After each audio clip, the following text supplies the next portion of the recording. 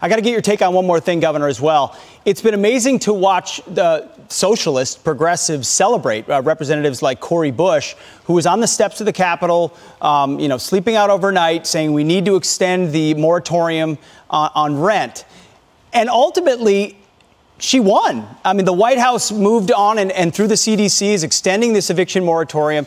And there's a lot of indications that progressives feel emboldened by their activist tactics, that the socialists in their wing feel like when they scream loud enough, Joe Biden does what they say. Is that ultimately the dynamic in Washington right now?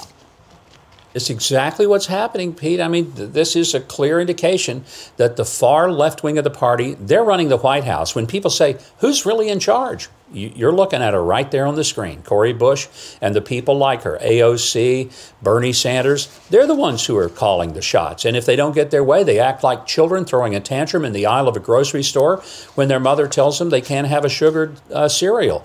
Instead, they throw themselves down, scream and yell, and what happens? They get the cereal. Mm-hmm. Uh, what needs to happen with a child who throws the tantrum and not getting what he wants is maybe a flip flop across his rear end. What we're doing with these people in Congress, we're rewarding them. We're giving them exactly what they want.